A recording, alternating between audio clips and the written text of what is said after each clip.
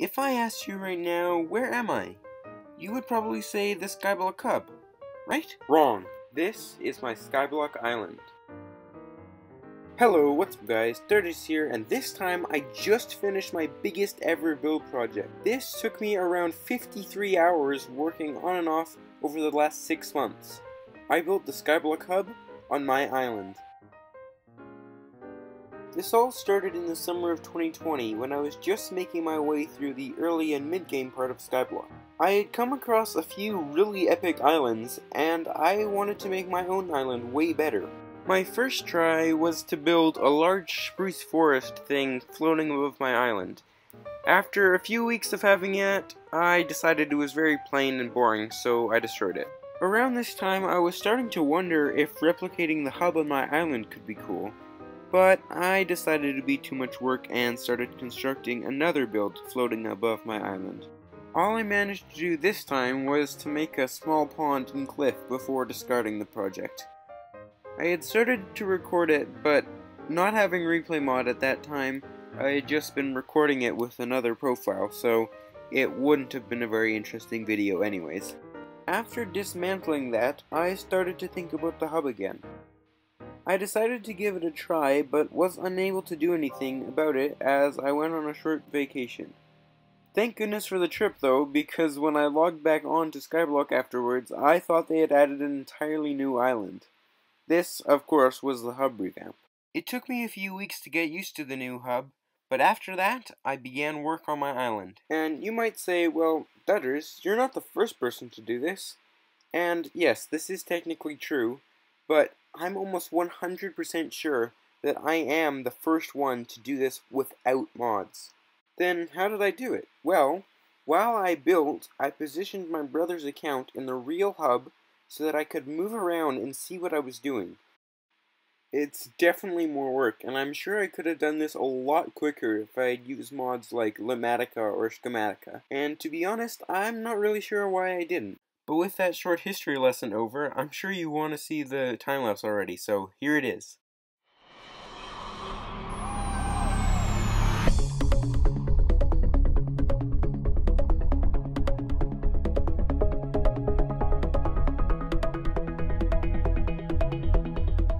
With over 54 hours of footage, making the time-lapse as short as possible without completely skipping over some buildings and interiors was quite hard.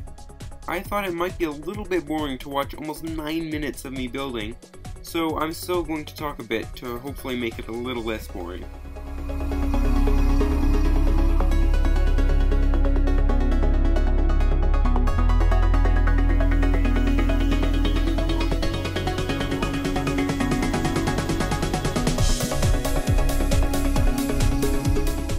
When I first started building this, I was very new to Replay Mod, so at the beginning there's a lot of movement. Later on, towards the end of the time lapse, I started making the movement slower and have less swooping around.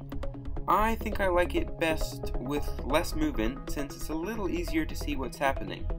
But tell me what you guys like best in the comments.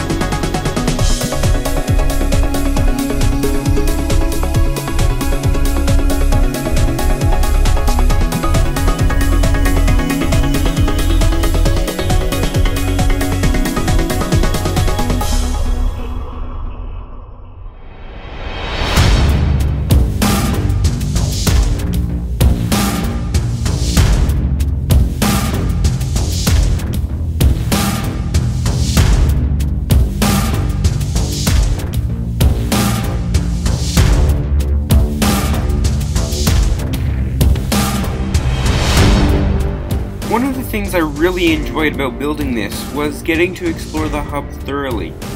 In normal Skyblock, there's little to no reason to really look around, so while building, I discovered places I didn't even know existed. One of my favorite of these places was this small patio or dining area. It just feels like a nice peaceful spot, whereas most of the hub just feels kind of busy.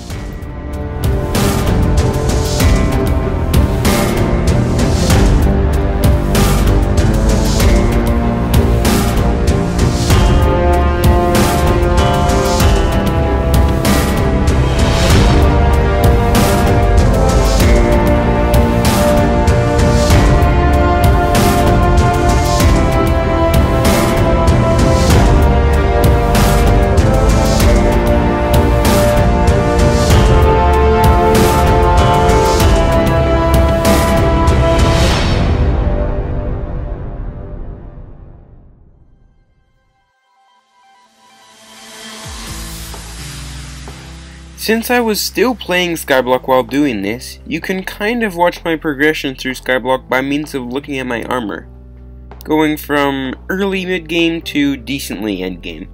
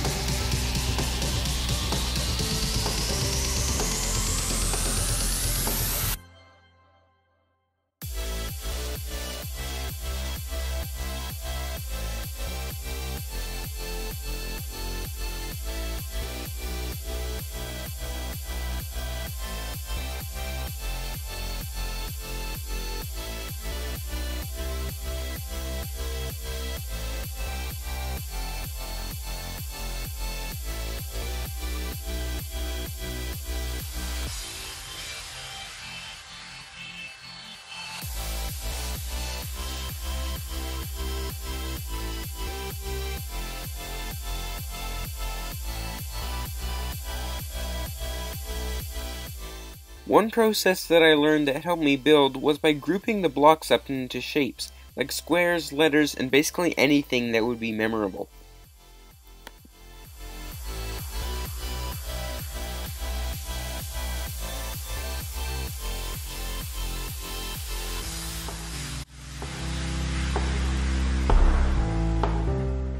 Some of the buildings that are replicated are slightly outdated by now, including the Pet House, which now has different blocks for walls, and the Slayer House, which is completely different. Some people asked if I was going to update them, but I think having the older versions is a bit more interesting since it's different.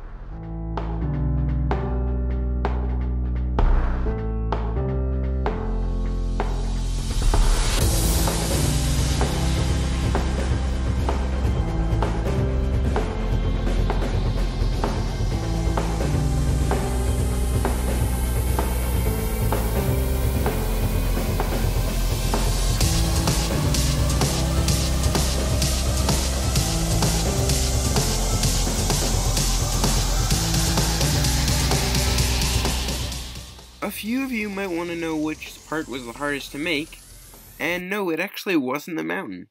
Although it is the largest section of the hub that makes up just one thing, it was pretty easy to build since it was just a lot of lines and squares. I think one of the hardest parts to build was Plumber Joe's house, since it was so intricate and detailed.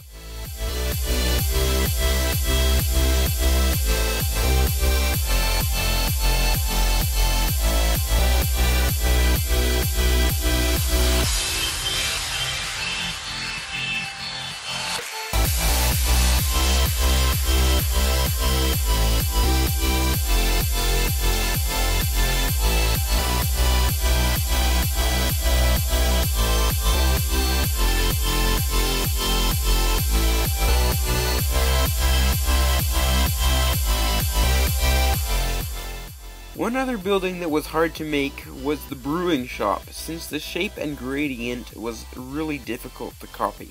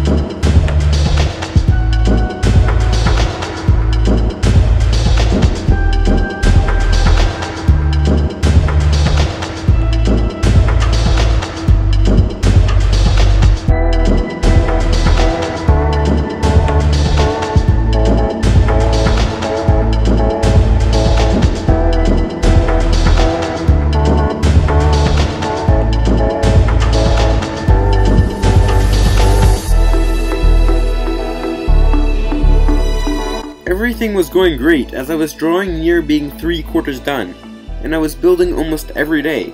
The downtown area by the coal mine had shot up super fast and had really filled the big empty space.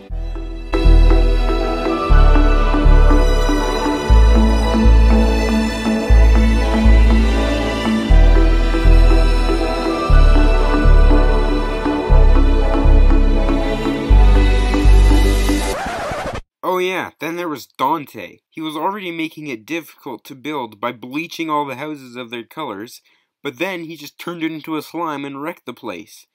Before the actual battle happened, I was quite worried as it seemed like the perfect time for the admins to destroy the hub and then just do another revamp. Thankfully that didn't happen, and I was able to find things that hadn't been affected by Dante to build until everything was fixed.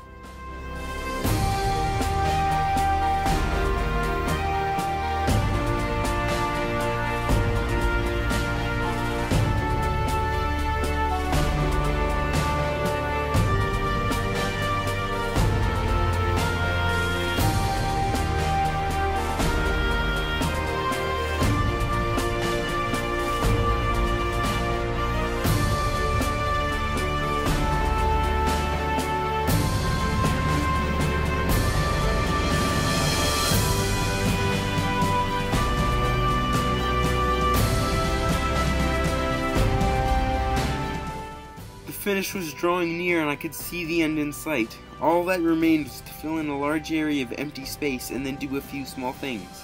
Normally at the end of projects, the last bit seems like it's the easiest and goes by fast. But for me, this time it seemed to last forever and I couldn't wait for it to end.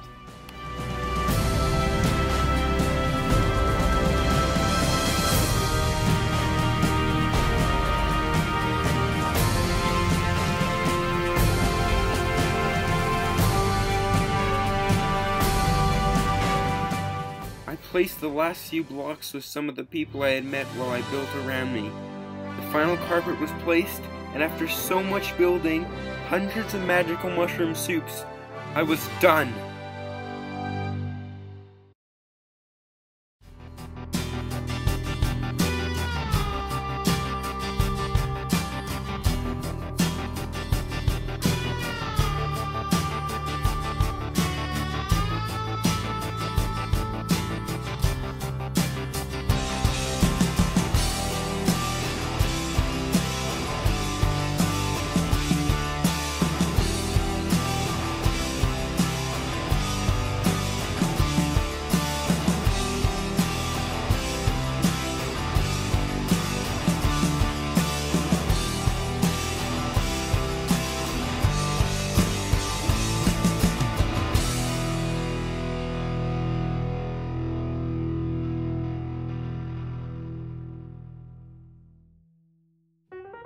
I doubt I'll ever make another project like that. Although it was rewarding, the actual build process was a little boring since I was just replicating someone else's builds. Even though it was a bit dull to build, I still had loads of fun doing it and met a whole bunch of people. I have some plans for the future, including Skyblock and building, but those won't be for a bit. Now that I'm not trying to do two things at once, I should be able to upload more, so hopefully I'll have lots of new tutorials and time-lapses coming soon.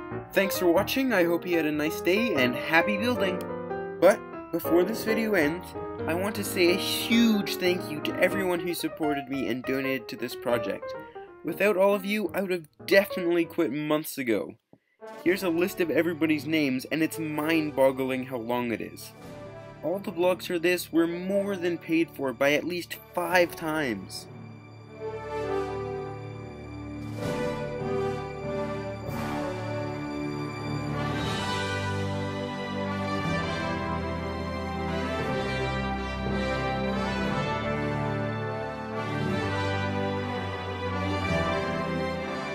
Anyways, thanks again. Hope to see you at my next video. Bye!